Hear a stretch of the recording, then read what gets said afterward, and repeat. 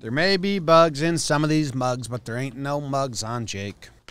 My name is Jimmy. His name is Jake, and this is the Weekly Dumb. We had ourselves another successful Jeff Passan day. Jake, congratulations. Thank you. Highly successful Jeff Passan day. Uh, broke some news stories. A lot of talks about that. And your dog Maisie has some terrible farts. She's growing. She's growing. Thought yesterday, we th- last night, I was like, oh my God, it smells like poop up here.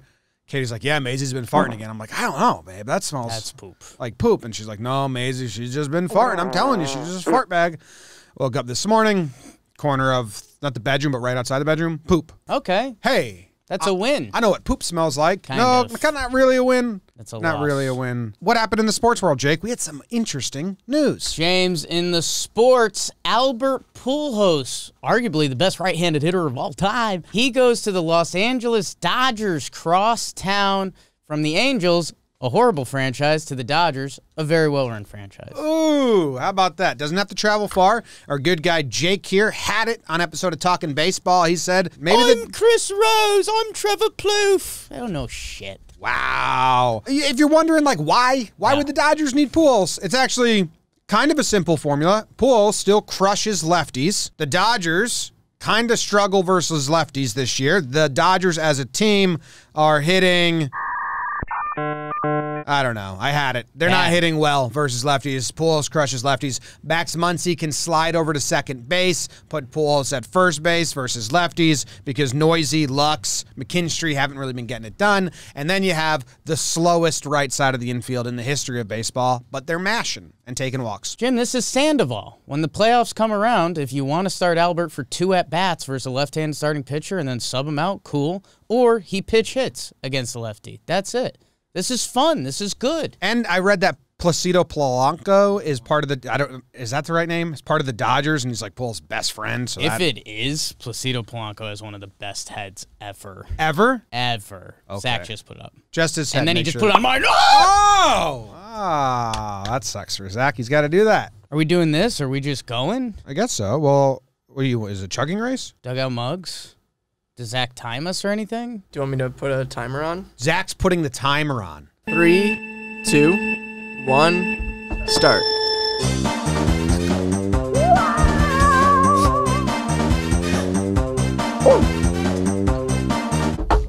I think I beat him to the table. That was a dub. Is that sink water? That tastes awful. Yeah. Why'd you? Why didn't you use the, the good water? that, that that's disgusting. oh, thank you, dugout mugs. Uh, code dumb. Jake. Next segment we do is Check called. the tape on that, Zach. I think I hit. Jimmy, the next segment is almost a breakdown. This is a fun one, Tim. We're leaving baseball. We're going to basketball. The Nets had a play that looks like when you and your buddies are hanging out in the pool and you say, All right, I'm going to throw it here. You're going to tip it there. You're going to tip it there. You're going to tip it there. And then we're to slam it in.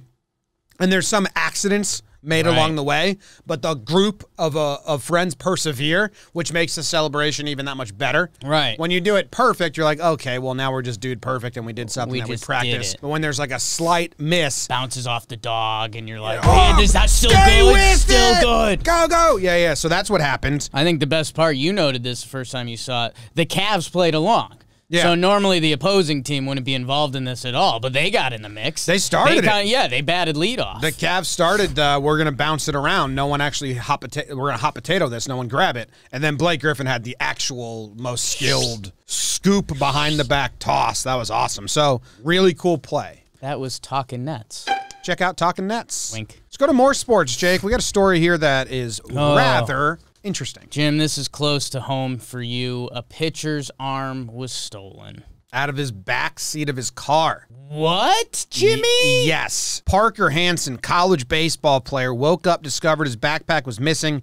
A thief walked in, stole his backpack. God. It had his prosthetic arm in there. He's uh, Jim Abbott. He's a pitcher. He's got one arm, Does the throwing, throw catching, it. persevering, overcoming. I didn't realize he went to Augustana, Yeah. and you know that's Your favorite, favorite band. band. Yes. I think I'll go to Boston. I think I'll start a new life. The time the sun sets, think I'll catch a one knows sunrise. Maybe it's the opposite. Uh, yeah, so he goes to Augustana Jim, where did they find this arm? in it, in his backpack. Oh no! And then the thieves found it and just threw it in the recycling plant. So then the guy was doing a recycling plant and was like, "Hey, I think I found your arm."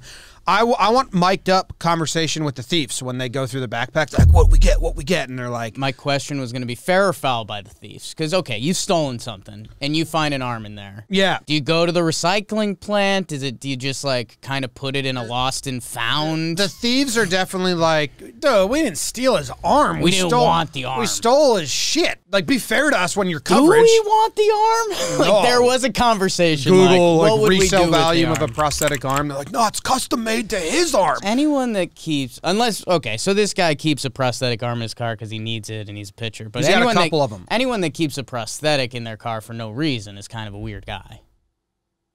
For no reason. Oh, I do. Oh yeah.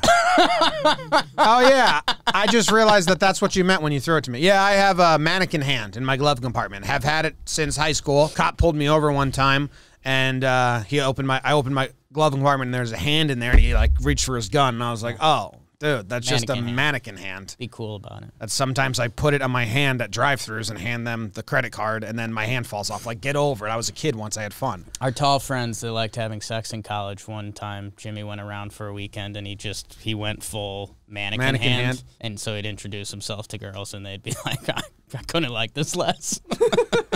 Well, puts him in a real pickle because it's like, is this guy a dickhead with a fake Right. mannequin hand, or is this am actually the dickhead? or is this actually a prosthetic hand, and I have to it's play just a really small prosthetic. Do I have to play along with this? Shout out to Parker Hansen. Keep twirling it. Got his arm back. Some uh, some great not sports today, Jake. So, you know, pandemic hopefully winding down, but we've still got court Zoom calls going on. And man, uh, my guy Nathaniel Saxton is an absolute superhero. He logged in uh, to virtual traffic court and sometimes it saves an old Zoom name or whatever it is. Uh, and my guy Nathaniel logged in as Buttfucker3000. Actually, his sister made it the name. Uh, you got to play the audio on this one, editor Zach. Your name's not Buttfucker3000, you yo-ho. So your name isn't Buttfucker three thousand, and the guy's like, he had no idea what was going on. so he's like, Judge. Judge, like, Be, be cool, man. what did you hear about me? Like, what? What? It's a common parking ticket. to not know why the judge is calling you buttfucker 3000 and just be like, wait, like what? How?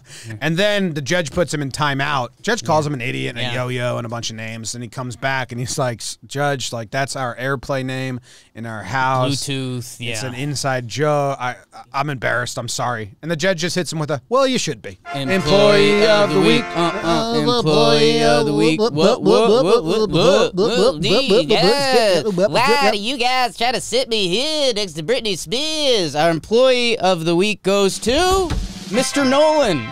Our high school social studies teacher taught us everything we know. We tortured him. We both emailed him because we wanted him to come on a show because almost all of our good memories in high school come from Mr. Nolan's class. And he got back to us, which makes him an employee here. And he said, uh, don't want to come on your show. No, I will. Thanks for reaching out. Thanks for reaching out. No interest. Please don't email me ever again. He didn't say that, but he said that. And And you felt it. you felt it. You Like, felt it in the email. yeah, you guys sent me two emails after I didn't respond to the first one. Yeah.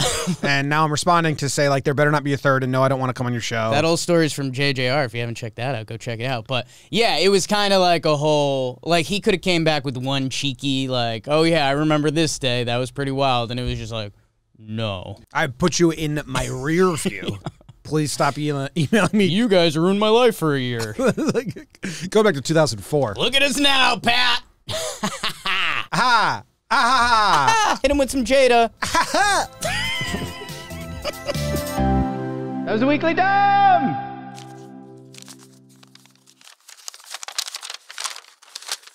Support for today's program was brought to you by Dugout Mugs. They now have the Dugout Mugs Early Bird Father's Day sale happening now. First 500 orders with the code DUMB get you 35% off all MLB Dugout Mugs. Click the link below and use code DUMB for 35% off a Dugout mug of your choice. Ba-da-da-da-ba-doo-doo-doo, ba-da-da-da-ba-doo. Sim-ba-doo-doo-doo-doo-doo-doo-doo-doo. Where the hell did I see this tweet? And I'm trying to find it now. Ba-da-da-da-da-da-da-da-da-da-da-da-do. Placido Polanco, hell yeah, works with the Dodgers front Bang. office. Pool's best, closest friends in baseball. I nailed it. Memory of a genius.